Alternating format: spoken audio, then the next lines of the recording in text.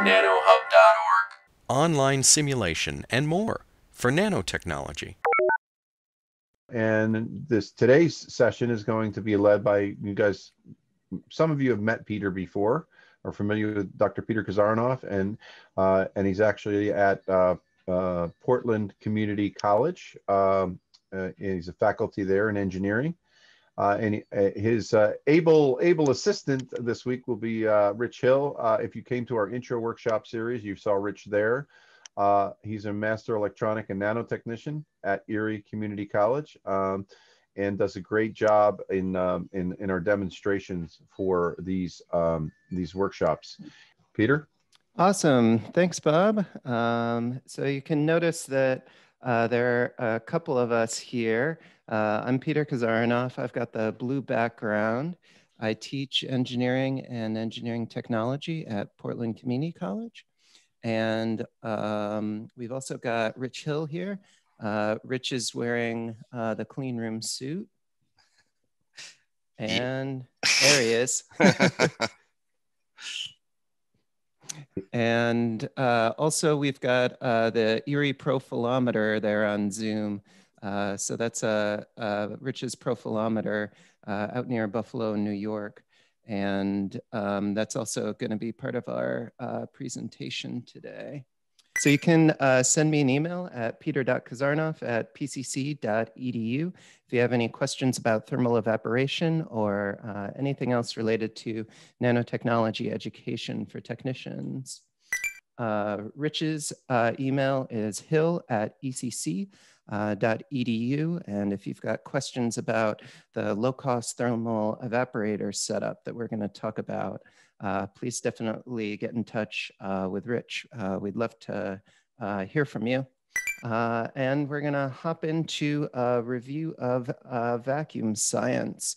So last week, the session was on vacuum science, and we want to use that kind of as background when we start talking about thermal evaporation this week. Uh, so Rich, do you want to uh, take us into a little review of uh, vacuum science? Sure. So what some of the stuff that you guys had picked up last week is vacuum um, is the removal of gas molecules from a chamber to achieve a pressure lower than atmosphere. So a lot of things that are going on in the world today is for manufacturing of say uh, nanotechnology or micro machines. It needs vacuum. So you had a review of that. You you heard that last week, and this week we're talking a little bit more about it. So atmospheric pressure is normally 760 torr, and that is one atmosphere. Typically, that's that's at uh, sea level. Here in Buffalo, I think we're well about 746. It says on my um, gauge up there. So we have ranges. You got low vacuum, which is rough vacuum. That's what we're going to use today when we do our demonstration, but atmosphere through 10 to the minus three torr. You got high vacuum that ranges from the 10 to the minus three down to 10 to the minus six, then ultra high 10 to the minus six down to low as you can get. People try to get very, very low sometimes. Okay, next. So vacuum pumps, I put a little bit of table here of uh, vacuum pumps. So typically your mechanical rough pumps are your rotary vane, you got diaphragm, scroll pump, and dry piston pumps. That's a few examples. Um, we have some, for high vacuum, we have some oil diffusion pumps, cryogenic pumps, turbulent turbo pumps, and sublimation pumps. A lot of the stuff we use here at, in my clean room, we use the, the turbo pumps to get to our high vacuum range. And we use scroll pumps and diaphragm pumps and rotary, rotary vane pumps for rough vacuum. Next. So here's a little chart that kind of shows what the gauges are, where they go for the ranges. So when you're talking uh, low range here, we got uh, piezo and diaphragm gauges and uh, the bourdon gauge. So the bourdon gauge, I do have a list that's coming up, but that's one of your least expensive gauges you can get that can tell you that you are pulling a vacuum. Then convection, convection and Pirani gauges and capacitance manometer gauge. Those are typically what you see a lot used in like in my facility. We use those to get pressures for the low pressures for rough vacuum. And then we get high vacuum. You have some cathode gauges and hot cathode and cold cathode. We use those here for um, the high vacuum ranges. And then goes on from there. But those are a few examples. You're welcome to look at that at any time when you see the slides and look up how they work and what they do. Next. So here is a page where I put a whole bunch of vacuum components on. So these are things that are used to create the vacuum system. This is how we get things connected to each other. So I decided to put on here some visual aids to see what you have. And then in the lower left, we have a clamp. And next to that, we have centering rings. That is what we use to connect all the piping together and get all our gauges together. And there's various types of those, but that is pretty common in in in uh, this area for us, like at our in our clean rooms, to use that type of uh, piping and clamping. Next.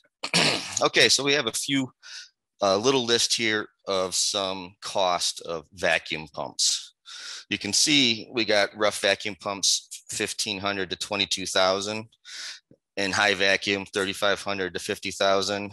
Some of this stuff is I have listed here the low ranges are remanufactured pumps because we have purchased some remanufactured pumps and they've done very well for us.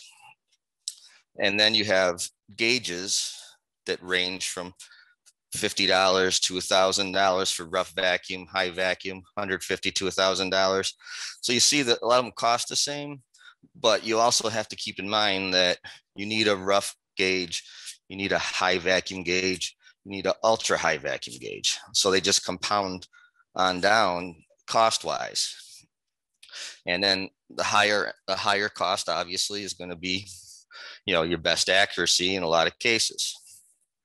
Then components, it all depends because I also include the chambers here. So chambers can cost a very lot. They can cost uh, 15, 20,000, even more. But some small components, like on my machine here, I have a little, a little vent knob that I use to vent the system. And that's, that's something that's like $25 or 40 bucks or something. And then you got the little centering rings, which can be very inexpensive, but you have to replace those. So that's why that range is just so, so broad. Next. So next we're gonna pump down the chamber. Rich, do you wanna kind of center us? Like, where are you? Why are you wearing all that stuff? And uh, what are you gonna do next?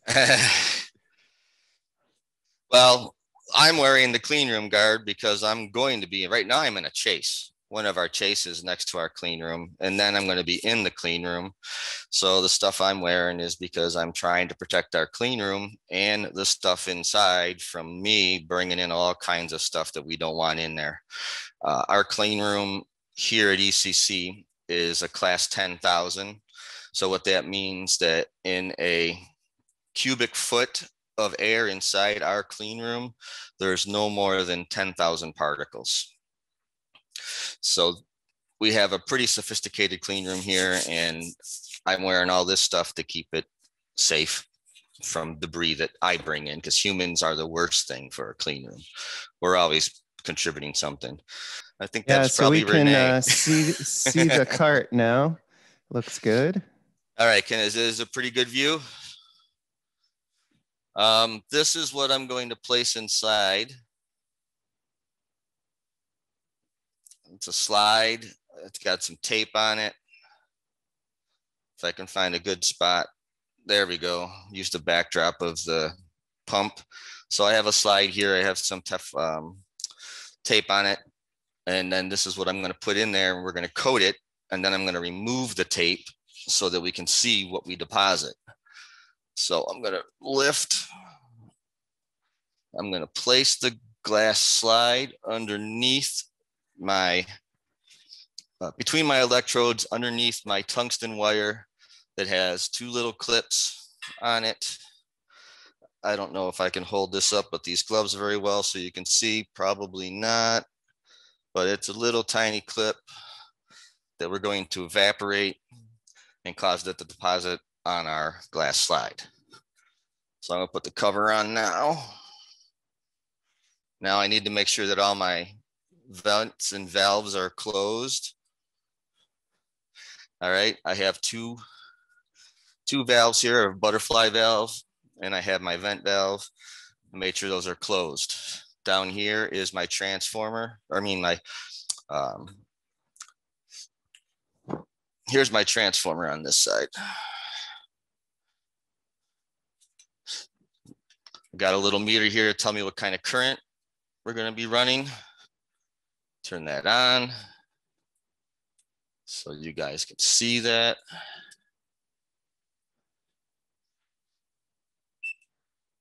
All right, hopefully you can see it. If not, here I have my potentiometer that's going to adjust my voltage for me. So I can start out at zero, send current from my transformer up into my electrodes that will in turn heat up my tungsten wire at some point that aluminum will start to melt and evaporate and then you'll see my glass chamber get coated in silver or in aluminum so that you won't be able to see it anymore.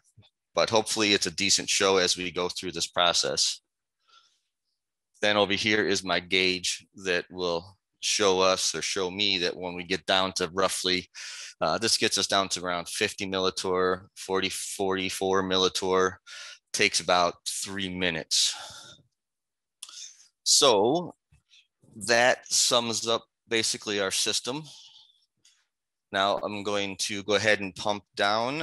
Uh, and I think that Peter wanted to talk about some other things while we did this. And like I said, Peter, take about three minutes or, or so. So once I turn it on, you might hear some noise through the mic, but then it, it's on now, everything's closed. I have to open up my butterfly valve. Okay, we're off and running. awesome. So Rich started uh, pumping down the chamber and later in our presentation, uh, we're gonna give a demonstration of thermal evaporation. Uh, but loading up the chamber and pumping down the chamber, uh, that's uh, the first step. Uh, so Rich, can you talk a little bit about all the components that we just saw? Okay, so the components you can see we got A is our chamber. So the chamber, this chamber is made of Pyrex, but you can also purchase a chamber made of glass, um, just not Pyrex, it's regular glass, but you'll notice that it'll be thicker. So we have a few of those. But the Pyrex is nice because it's it's not as thick, so it's a little bit more clear when you look at things and watch things. So then you got B, the vacuum pump. Now that pump in the image, that is a scroll pump. Uh, that pump I choose to use when I do demonstrations for students because it makes the system just a little bit lighter to, to haul around and lift because it's not as big and bulky as the oil rotary vane pump. Then we have a gauge C on the right there. That gauge is a Pirani gauge. Uh, it's one of the little more expensive ones. They make all different prices. Um, this one I use that we have here because it's a little bit easier to see sometimes uh, when using for like this type of demonstration. So that's the one I, I like to put on there. Then if you can see uh, D there, that little knob, that's that little vent valve that I was turning to make sure it was closed on my system here. That's how I can vent the system. If I don't vent the system, there is no way I'm going to get that glass jar off of there, that bell jar without breaking it. It's just going to be just stuck. There's no way. And then E is pointing to the butterfly valve. That's just a means of me separating the pump from the chamber. So I can close them off, keep them individual if necessary and then D is no the uh, F is showing some of the piping that we have going on here. And then we also have G that shows the reducer that I had to put on there to connect the piping to my pump. And that's basically the rundown of our system and what it looks like and what we have here in front of us here. So while that uh, system pumps down, we're going to talk a little bit about the fundamentals of thermal evaporation. Uh, what is it and how does it uh, work? Uh, so what exactly is uh, thermal evaporation? And I'm going to start off with an analogy uh, to a foggy bathroom mirror. So uh, right here, you see an image of a foggy bathroom mirror, and then somebody with their finger has written out the word condensation. So when thermal evaporation is done in micro and nanotechnologies, uh, that uh, same process is happening as the process where your bathroom mirror gets foggy when you take a hot shower. Uh, when you take a hot shower, uh, some of that water uh, is steam in your bathroom, and uh, your mirror is a relatively low temperature uh, compared to that steam. And so that steam will condense and go back to the liquid phase on the mirror. And to our eyes, that looks uh, like fog. And when we thermally evaporate metals, uh, like Rich is gonna show later, uh, we're using that same sort of process. We're heating up a metal to a temperature that's high enough in order to vaporize it. And then uh, that metal vapor condenses on uh, surrounding objects like the microscope slide that Rich showed uh, with the pieces of tape. How this works is that adatoms, these are the atoms from the metal that we're evaporating, uh, sort of hop around until they form a bond uh, with the substrate. And how long these adatoms are mobile uh, is critical to the quality of the film that's created. And some of the factors uh, that lead to that quality include the energy of the incoming adatoms, the temperature of the substrate, and the flux and energy of ions and electrons in the uh, system.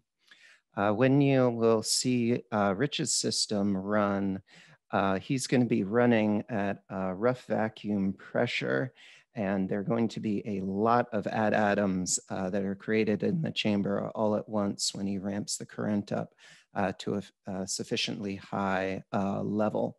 Um, and that's gonna kind of um, lead to sort of like a poof of the aluminum on the inside uh, of the chamber. Now, there are uh, about three main types of uh, physical vapor deposition uh, techniques, and then a couple other uh, less common techniques. Uh, the three main common are thermal evaporation that we're talking about today, uh, sputtering that you'll learn about in another session, and laser ablation. And less common physical vapor deposition techniques include MBE, which is molecular beam epitaxy, and ion plating. In this seminar, we're talking about thermal evaporation, and there are two main ways uh, to heat up the metal to the gas phase. One way uh, is just uh, thermally, and that's usually done by running a current uh, through a boat, a basket, or a wire and the other is using an electron gun in order to heat a material that's on the inside of a crucible. The reason that Rich has to pump down the bell jar is that as pressure decreases, the vaporization temperature of the metal decreases. If we tried to do this at room temperature, we'd have two effects. One is we'd get a whole lot of, excuse me, tried to do this at room pressure uh, we'd get uh, uh, two effects.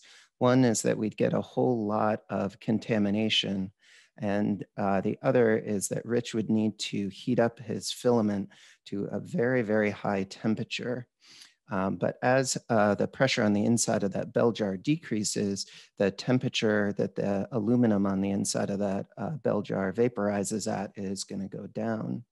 So you can see on the left a plot of uh, temperature versus pressure for different metals. Uh, what we can see on uh, that plot is that metals like aluminum, gold, chromium, and uh, silver, which isn't on the plot, can be thermally deposited. Uh, but other metals with relatively high melting points like molybdenum, tantalum, and tungsten uh, can't be practically thermally uh, deposited. And uh, these metals, which we sometimes call refractory metals, uh, are used in uh, the bolts, boats or the holders of um, the metal that will be thermally evaporated. And it's very difficult to evaporate metal alloys. And the reason for that is that different metals have different uh, vaporization temperatures. And so if you've got a mixture of two different metals in the same basket or the same boat, uh, the metal which uh, evaporates at the lower temperature is going to uh, come off first and you'll get a layer of that. And then uh, the next uh, metal will come off last and you'll get a layer of that uh, rather than have an alloy. So in thermal evaporation, the material is heated until it's uh, vaporized and usually uh, low pressure is used. But Rich has got this amazing setup that he can do this at roughing pressures, uh, which is much lower cost uh, than using high vacuum. And uh, previously Rich showed how much more expensive attaining high vacuum is than just rough vacuum. Uh, the evaporant leaves the source in a line of sight. So uh, Rich has got uh, that sort of coil of wire and the aluminum is going to deposit all over uh, the bell jar uh, through uh, line of sight. So it won't just be the microscope slide that's got the tape on it. The whole bell jar is gonna end up being coated. And so you can end up with shadowing techniques uh, so sometimes uh, filling high aspect uh, ratio trenches and devices is difficult uh, with thermal evaporation. Uh, here's a schematic of what the inside of Rich's bell jar sort of looks like. On the upper right-hand side, you can see that there's this vacuum chamber that has a dome at the top. On the inside of the vacuum chamber is a um, uh, voltage supply that holds uh, the material to be evaporated. And that was a little coil of wire that you saw in uh, Rich's uh, camera. Uh, then the substrate is uh, held or placed in the chamber in some way. And then many vacuum chambers also include quartz crystal monitors. And these monitors can monitor how thick uh, the film is. In this demonstration, Rich is going to use a surface contact profilometer uh, to show how, uh, how thick the film is. On the lower right-hand side, uh, you can see an example of uh, electrodes uh, that will hold the boats, the baskets, or the wires that are um, going to be thermally evaporated.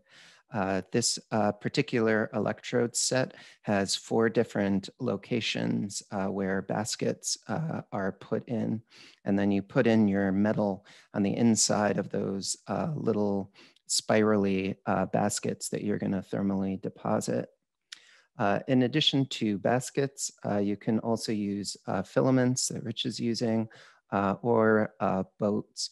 And on um, the sort of right-hand side of those little pictures, you can see two gray boats. And those boats are usually made out of those high melting temperature refractory materials like tantalum and molybdenum. This is an example of uh, the entire setup, and this would be a much higher cost setup uh, than uh, the setup that Rich has. And the reason for that is that this setup shows a turbo pump which is a high vacuum pump, as well as a mechanical uh, roughing vacuum pump. Uh, in addition, there are a couple of other gauges shown here, like the ion gauge that's more expensive than the gauges uh, that Rich has on his uh, evaporator. Uh, but things that are common include the AC power supply, uh, like the transformer Rich was talking about, and uh, that W filament that stands for tungsten filament. That's kind of like uh, the little um, uh, curly Q strand uh, that Rich had in his setup. Besides doing regular thermal evaporation, the other main type is E-beam evaporation or electron beam evaporation. In electron beam uh, evaporation, rather than using um, a current to heat up a boat or a filament or a basket, uh, what you use is high energy uh, electrons. And those high energy electrons are created from an electron source, kind of like the source that's used in scanning electron microscopes, and is accelerated and guided uh, towards your material source. And uh, the material source is typically held in these high temperature crucibles. And uh, you can have a very small volume uh, be melted at a time because you can highly focus uh, the electron beam. And this uh, decreases the amount of contamination. And you can also have relatively high evaporation rates in E-beam evaporation. But E-beam evaporation is uh, quite a bit more expensive uh, than uh, just regular thermal evaporation using resistively heated uh, boats.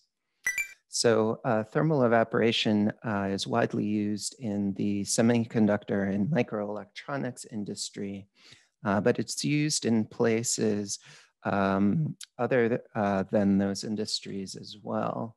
So on the left-hand side, you can see a silicon wafer uh, that has been used in a semiconductor fab. And thermal evaporation is used to lay down uh, metals and other materials as part of the semiconductor uh, manufacturing process. But uh, in the middle picture, you can see some mylar balloons and thermal evaporation is also used to deposit aluminum alloy on the surface of a plastic substrate in order to uh, make the material that goes into those balloons. Uh, aluminum is a great barrier against uh, gases leaking, and helium has very small atoms, so it can uh, seep through most uh, typical polymers. So if you lay a layer of aluminum on the inside, uh, that'll prevent um, the gas atoms from leaking out of your balloon. On the right-hand side, you can see a Doritos chip bag. And in the food packaging industry, thermal evaporation is used uh, to put um, uh, metal down on food packaging surfaces, and that uh, decreases uh, the uh, food spoiling uh, because it prevents um, moisture from getting on the inside of the package. So uh, before we move into our demonstration of thermal evaporation uh, from Rich, uh, are there any questions over chat or over a microphone about our fundamentals of uh, thermal evaporation? All right, so if any questions come out, you can just shout them out over a microphone or um, write them uh, in the chat and we'll uh, make sure to get to them. So next, uh, Rich is gonna uh, go through uh, what he's gonna do to do the thermal evaporation, and then you're actually gonna uh, see it live here. you should be able to see Rich's camera where he's showing his thermal evaporation setup. so take it away. Hello. All right. So we're back. So as Peter had mentioned about us keeping this as a low cost system. So I can let you know that this system here, uh, I priced it out and it's under $5,000. And later on, I believe we're going to talk a little more and show you some other evaporators like the one we have inside our clean room um, but I'll give you the idea what this one costs compared. We'll, we'll see the comparison later. So what I'm going to do is I've got, like Peter mentioned, I've got my little clips up here on that wire, a tungsten wire. Down here, I have my knob that I'm going to turn and put that current through. So we're going to try to do this at a slow pace. And we're probably about the limit of pressure, 16 and a half millitors for this system. It's been pumping a while, so obviously it can go down to whatever the pump's capable of. So this is really good for us. We're going to hopefully get something that looks pretty clean when we put it under the profilometer's um, camera. So I'm going to start to turn this up and I'm going to start to send some pressure or some current through our tungsten wire.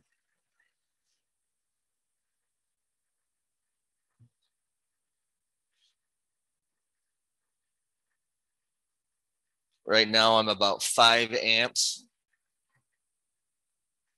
Still aren't generating enough current to see our glow start.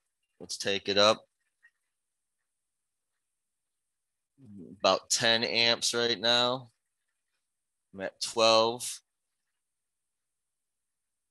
I believe we've got to get up to near 30 when we see something happening. 20, 25,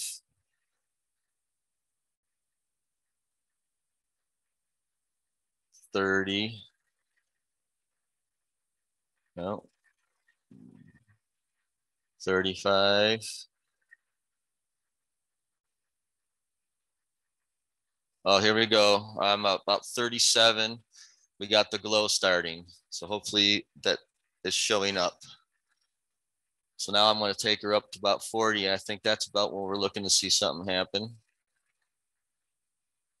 We're at 35. It's starting to evaporate. See it coloring.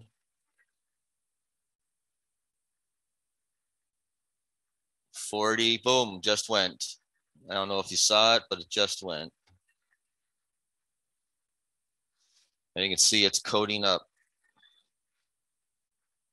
Now I'm going to turn it down. All right, that was our demonstration. Yeah, it turned it turned all cold in it. I don't know if Peter wants me to take the sample and vent the system right now. I'm not sure what kind of order we want to go in for that. Yeah, so you should be able to see now that the bell jar has this uh, silvery mirror appearance, and that's because Rich just thermally evaporated aluminum all over uh, that jar.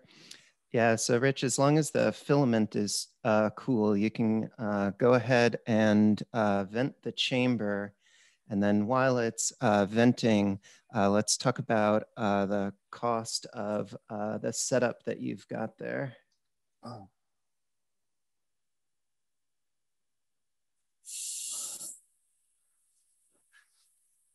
Okay, yeah. So like like I said, we got about um, five thousand dollars here, and uh, Peter's got the the list up there that shows what we got. the The RV three is a rebuilt rough vacuum pump. The base plate, I had um, borrowed the design from uh, Nancy over at Normandale. Uh, she had a company that they had already worked with. I got the information because we worked with Nancy and we were able to have them make us the base plate with the holes in it so that we can put feed throughs in. Then we had to buy the vent valve, which you can see there. Okay, I guess I was off. That one's quite expensive.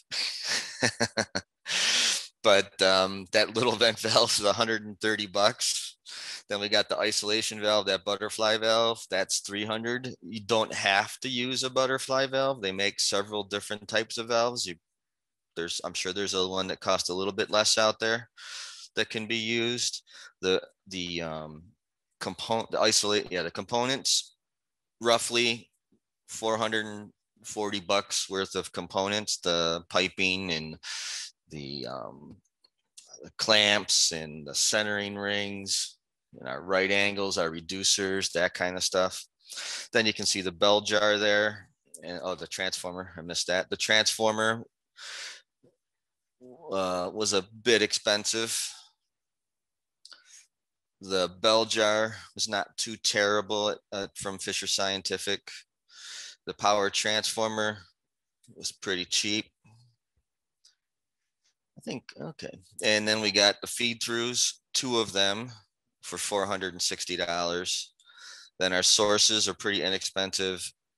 And our, um, our material, this is half, this jar here is like half full of those little clips that I purchased to do this. So needless to say, for the amount of money for that, I can do a lot of evaporating. but then you can see it was about $5,000. So we hope to even figure out other levels of pressure we can go to to even bring the cost down.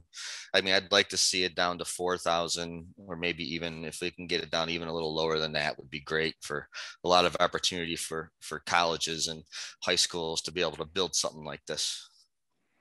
And Rich, which one of these components um, might there be at a community or a technical college uh, sort of lying around if they've got a electronics program or a machining program or something like that?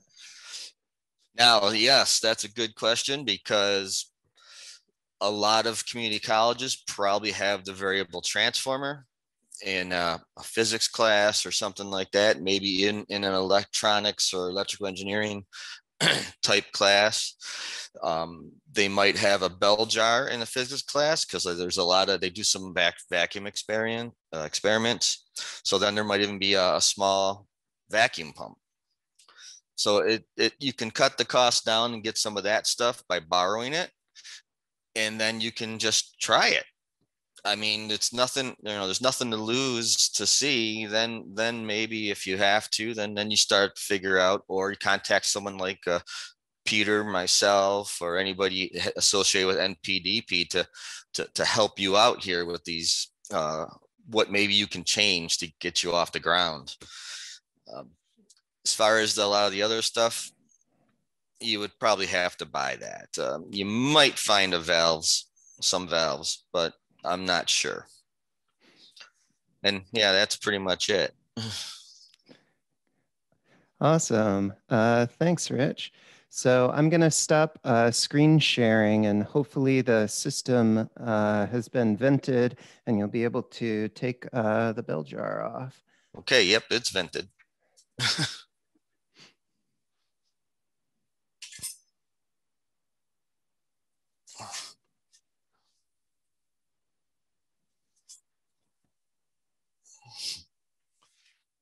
put this down.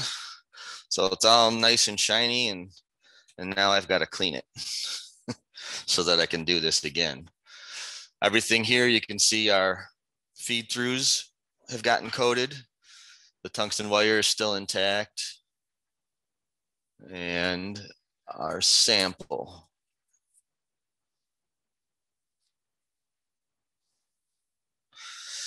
So here's the mirror we made can point it right at the camera. So what I'll do is I will start to pull off these. There's one pulled off. So now we have several spots that we will be able to measure our product. And I'm, we're not going to go crazy and measure all over the place, but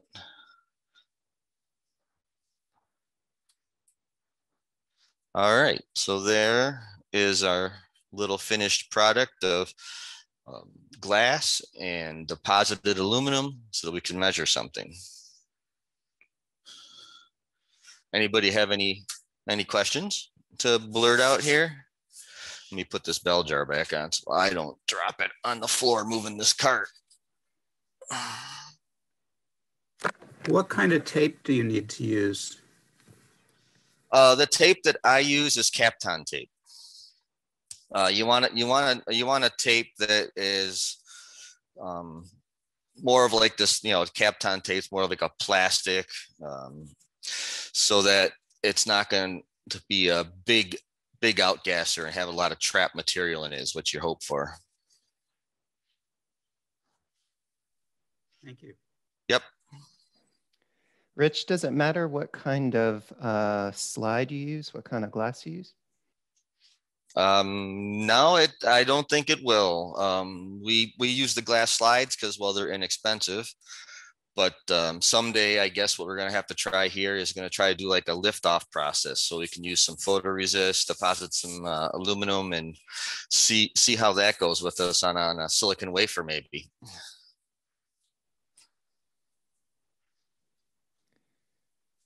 Any other questions about our thermal evaporation so far before we uh, go into measurement? And I will turn off the camera so I can uh, move this and not make anybody dizzy. I had a quick question. Are there any issues with the buildup of metal on the inside of the dome? Does it flake off after a certain amount of runs or does it just adhere for? Uh, it has pretty good For a very long adhesion. Um, but usually all I've done so far is use this for demonstration purposes. So typically I do one demonstration and then I clean it. And, and actually that's actually good because if you only have the one layer after one demonstration, it makes it easier to clean. The, the thicker it gets, the more difficult it can be to get the aluminum off the glass. Okay, great. Thank you. Yep.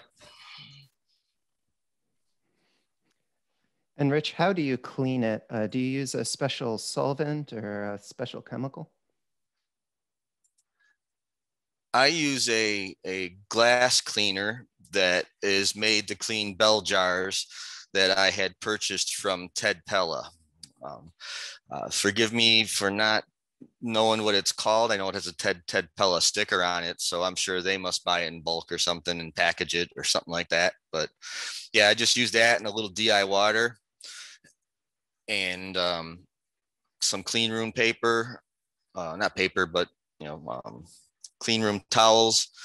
And if I have to, I can get a little more aggressive and use like a Scotch Brite pad.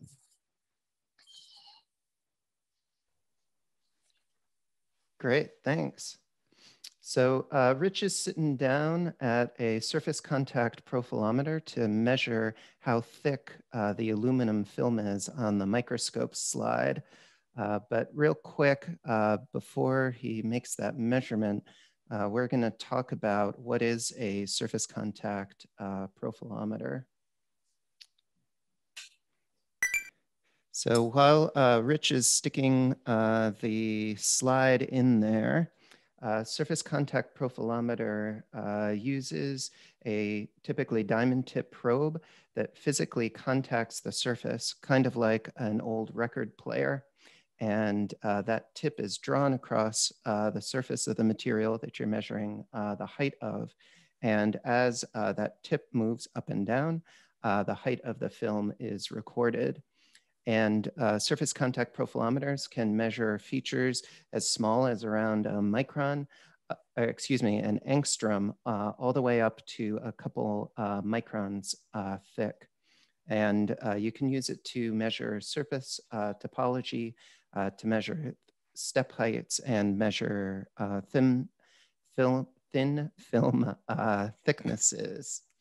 So the instrument uh, that Rich is using uh, right now is uh, from Bruker, and uh, he's put the microscope slide in on top of uh, the gray metal disc that's kind of at the center. And directly above that, below the Bruker logo, uh, that's the stylus, which is gonna be dragged across the surface. And you can see in the little right-hand image, uh, the thing with a little red kind of ball on it. Right below that, uh, that is the uh, tip of the stylus. And when uh, that stylus is dragged across the surface, its uh, change in height is measured and uh, recorded by the machine. So, uh, Rich, we about ready uh, to see if we got any uh, thin film thickness there? Yep, I've got it all set up, lined up, and if you want, I can share the screen of the profilometer. Yep, so this is our this is our profilometer. This profilometer here is um, like few people like to refer to that to this one is the smart one because we actually have three of them. We have two that are all manual adjustments and to get everything lined up this one is motorized so that we can apply this to remote sessions where somebody could actually use this from an office, a classroom, or a laboratory that that isn't here. So that's what this one's all about. So this is the one I decided to hook up here because it has it has the zoom on it because we do that with it. So just a, a real quick, this one's page here, this line on the on the left, that is where we can put the settings for um, like the first one at the top here for 6.5 micrometers. That is we're, we're trying to guess, have an idea what our height is. We can change that to a couple different settings for that purpose. Here we can put in the length, which I'm not going to do 2000 micrometers because we're just going to get a, a step height here. So I'm going to change this to say 500 micrometers and I'm going to do it and let's do it in 15 seconds. And um, the last number there is a bit of force we can put down. We can change that a little bit to, to increase the force, but since we're doing a hard surface here, it should be just fine. So with those settings done, I'm ready to roll. I'll just give you one little brief look over here. On the right-hand side is how we can position things. So in here, you in this window on the on the right, you just grab the, the red dot and the top one moves you left and right, front to back. The bottom one turns the stage so we can line up and be be where we want to be to make our measurement. So in the middle of the screen, you see the red crosshairs. We want to make sure we're above the horizontal one with what we want to measure, which I am. Here's the line I want to start at but we don't want to be too far away. We just want to give ourselves a little baseline before we hit the step height. And then we can measure a feature. Here, we're just going to measure a height and see what we get. So I believe we're ready. So if I hit the little play button up in the upper left, it'll do its thing. I can close the lid. And let's see what it gives us. Hopefully everything will stay on the screen. We don't have to make any weird changes. Nope, we're pretty good.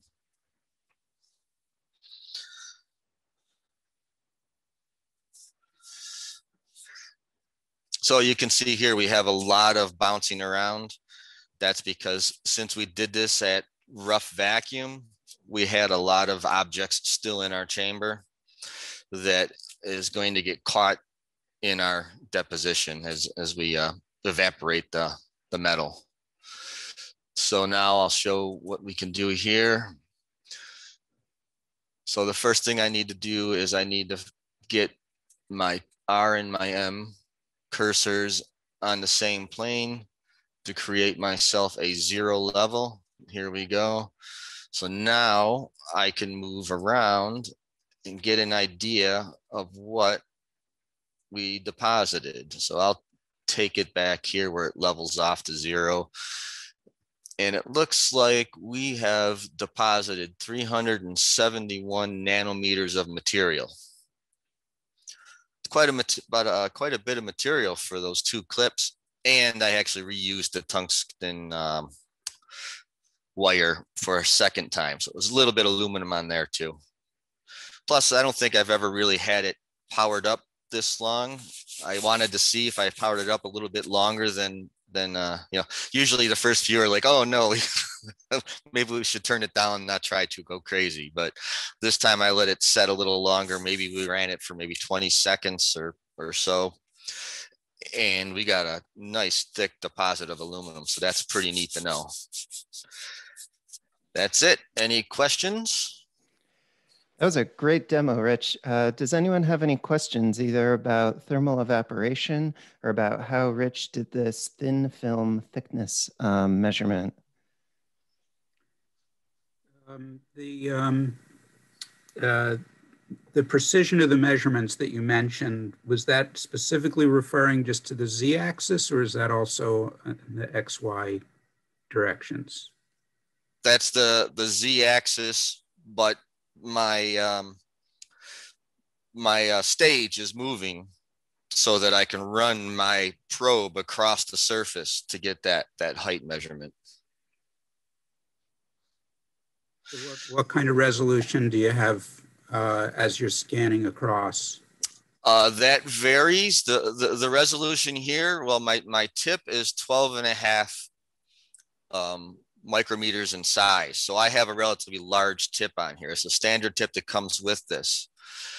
But if it, you can get different size tips, I believe down to like 50 nanometers to take small or narrow measurements of items. And so it can get down in, into a relative, well, we got nanometers here, so we can get down into, I'm, I'm thinking, I think it said, uh, one slide said like 0.6 or six nanometers or something like that.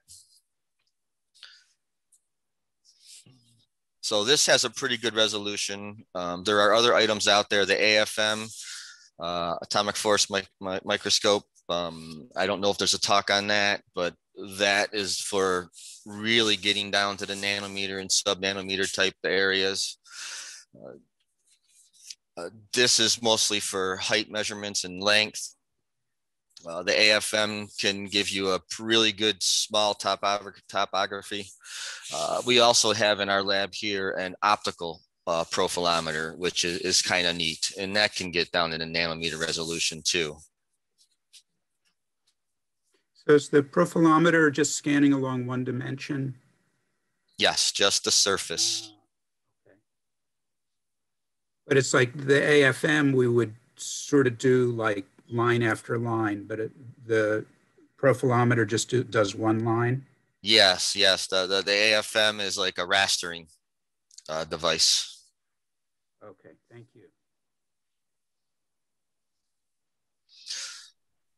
And uh, th both of those, well, actually, the AFM can do non-contact and contact mode. This only has contact with the surface, this, this profilometer.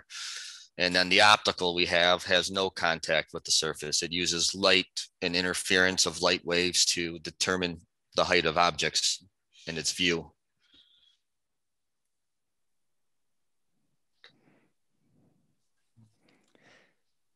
Any other questions, either over microphone or over chat? Good. Good. All right, so we're gonna uh, finish up uh, talking about three different classes of thermal evaporation um, instruments.